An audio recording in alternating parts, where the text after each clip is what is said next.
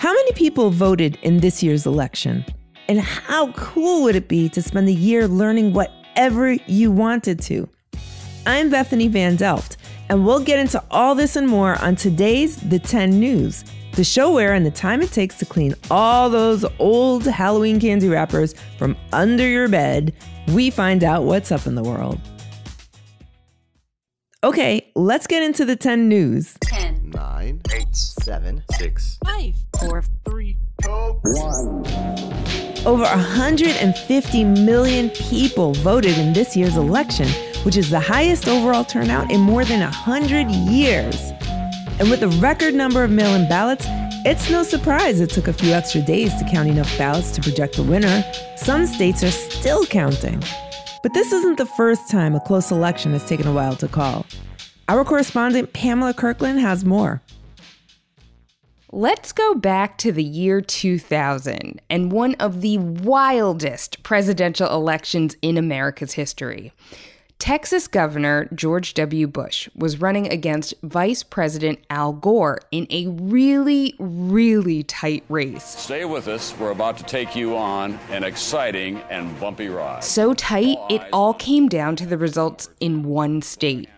Florida. For Vice President Al Gore, NBC News projects that he wins the 25 electoral votes in the state of Florida. The difference in the number of votes between Bush and Gore was small, like really small. So Florida law required the counties to do a recount and run all of the ballots through the voting machines again. CNN right now is moving our earlier declaration of Florida back to the too close to call column. The vote was even closer. Out of 6 million votes, just 537 separated Bush and Gore. So there was another recount, but this time it was by hand. Some counties were taking longer to count votes because the machines that they had used to mark them, and they were going to miss a court deadline to finish the recount. On December 8th, 31 days after the election, the Supreme Court intervened. You remember them? The Supreme Court justices voted 5 to 4 to end the recount. Five days later, Al Gore said he would end his campaign, and George W. Bush became the elected president. Traditionally, the losing candidate calls the winner to congratulate them and announce the end of their campaign, like Al Gore did, twice in this case. It's called the concession speech, and while it's not required by law, it's become a tradition in American politics dating as far back as 1896. It's not just a nice thing to do, like telling your opponent good game when it's over. It means the campaign is over, and Americans should come together. President Trump still hasn't conceded or said Joe Biden has won the election. But what's even older than the concession speech is the peaceful transfer of power from one president to the next.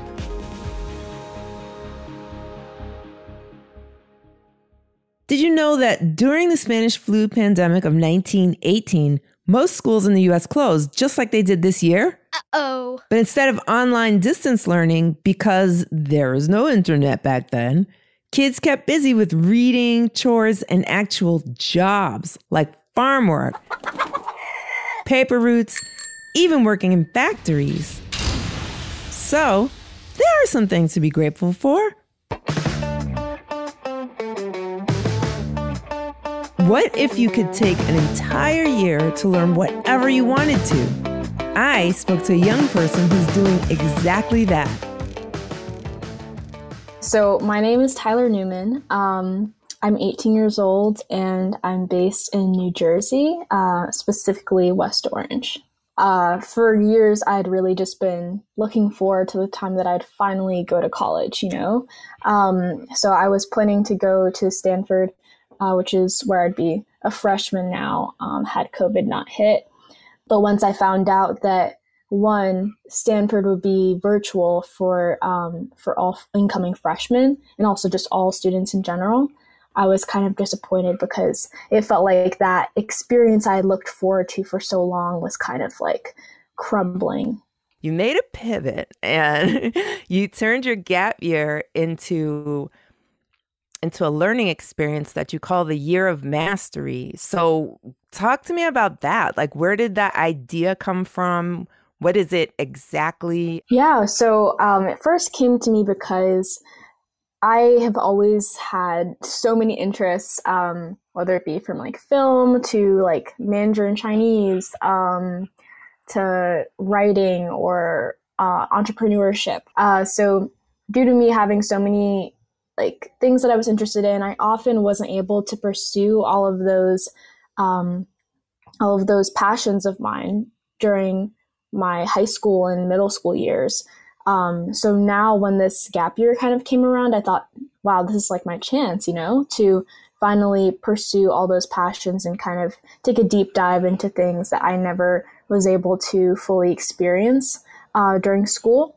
So I was thinking like, how neat would it be to like each month be able to like do a new thing, like because I personally, since I do have so many interests, like it can be overwhelming to bite off like learning Mandarin and then like learning a hip hop dance and stuff like all the same time, you know? So I was thinking, like, why don't I just like compartmentalize everything into like one month?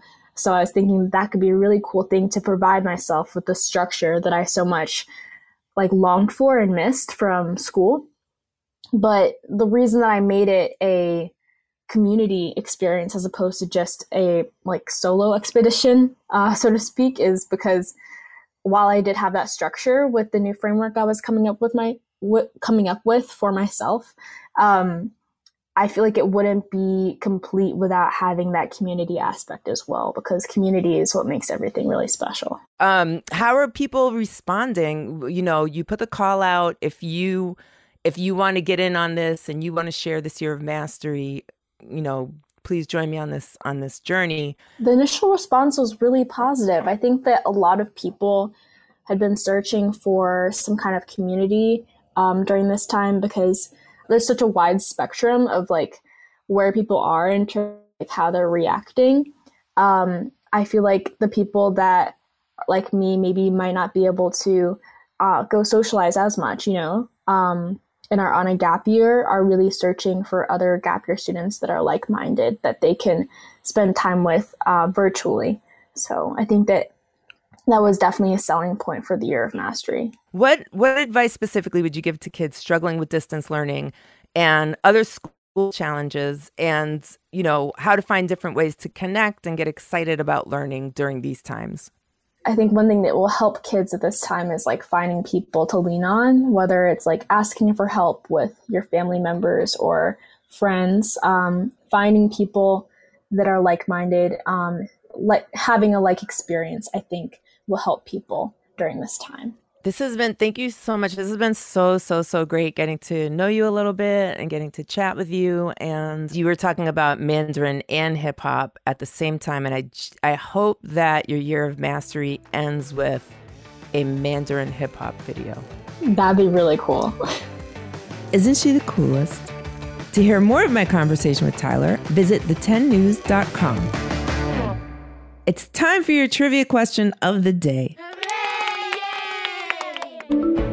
Which organization honored President Abraham Lincoln with an award in 1992? Was it A, the Wrestling Hall of Fame, B, the National Chess Association, or C, the Tall Clubs International Foundation? Did you guess it? The answer is A, the Wrestling Hall of Fame. Apparently, Honest Abe had an impressive record as a pro wrestler before he became our 16th president. Little late to the game, but better late than never. Time's up. Aww. That's the end of the time for today. You can catch new episodes on Tuesdays and Thursdays. The 10 News is a co production of Small But Mighty Media in collaboration with Next Chapter Podcasts and distributed by iHeartRadio. The 10 News writing team is led by editorial director Tracy Crooks, with contributions from Stephen Tompkins and Pamela Kirkland. The creative producer is Jenner Pasqua. Marketing is led by Jacob Bronstein, with social media and web support by Stephen Tompkins and Adam Farr. Editing and sound design by Pete Musto under the production direction of Jeremiah Tittle. Executive producer Donald Albright and show creator Tracy Leeds Kaplan round out the team. If you have any questions about the show, a story idea, or just some fun facts you want to share, email us at hello at the10news.com. And don't forget to subscribe, rate, and review the 10 News on Apple Podcasts, iHeartRadio, Spotify, or wherever you listen to your podcasts. I'm Bethany Van Delft, and thanks for listening to the 10 News.